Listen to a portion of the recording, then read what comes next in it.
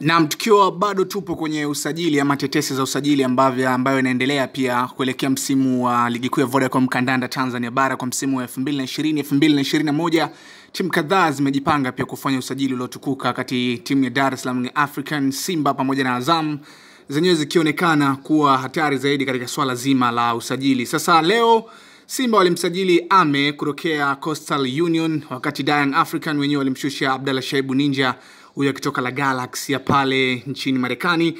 Akati sasa Azam FC wao wameweka ama wametanabaisha kwamba wanayo furaha kwa taarifu kuwa wamekamilisha usajili wa golkipa wa kimataifa wa Tanzania David Mapigano Kisu kwa mkataba wa miaka miwili akitokea Gor Mahia ya pale nchini Kenya. Kisu ambaye yumo kwenye kikosi cha timu ya taifa ya Tanzania Taifa Stars Usajili wake ni sehemu ya mapendekezo ya benchi la ufundi la Azam FC.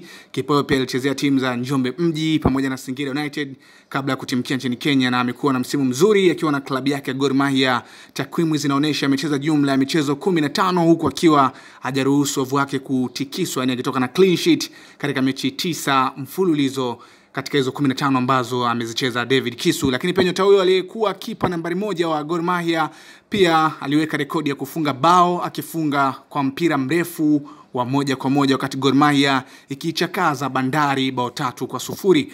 Huo ni usajili wa tano kwenye kikosi cha Azam kwa ajili ya msimu ujao. Wengine waliosajiliwa ni pamoja na Wesu Awesu, Ali Nionzima, Ayubu Lianga pamoja na Ismail Aziz Kada kutokea kule Tanzania Prison ya pale mkoani Mbeya. Sasa hizo ni tetesi na pamoja na usajili ambao unaendelea, kufanywa pia na vilabu hivi vikubwa kunako ligi kuu ya Vodacom kandanda Tanzania bara. Kwa taarifa nyingine na za usajili na tetesi ambazo pia zinaendelea kutokea kila uchwao, basi tutakuwa tunakujuza hapa hapa kupitia harakati za Bongo. Usiache kusubscribe ili uweze kuwa kwanza kupata taarifa zote, lakini pia usiache kutufuata ama kutufollow kupitia mitandao yetu ya kijamii yote kwa jina moja tu la harakati za Bongo.